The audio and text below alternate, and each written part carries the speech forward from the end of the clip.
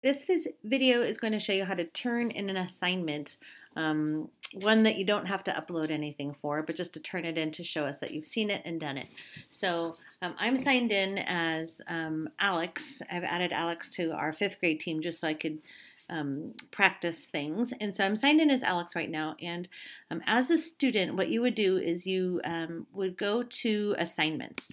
And when you're in assignments, um, you can see all the classes that you have, but you should really only have Hellman fifth grade. You won't have all these other things.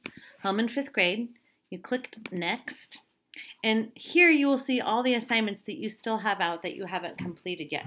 So right now Alex has not completed adding Teams to her desktop computer or making a Flipgrid video. So I can click on these, um, either one of these assignments. For this one, I'm going to um, add this assignment here.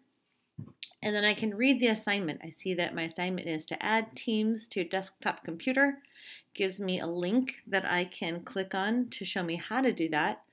Um, and I, I've already made that video, maybe you've already seen it.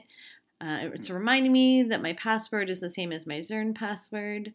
Um, and there's another link to the same video in a different place. So what I want to do when I'm done with this, just to tell us that you've seen this assignment and that you've done it, is just turn it in. And you can do that by clicking on this button right up here that says turn in. Turn in. Yep. And that'll give you this something or other will dangle down from the turn in thing. Um, and that's that. Your assignment will be turned in. We'll see that you've turned it in and we'll be done. That's the whole thing that you have to do. Thanks.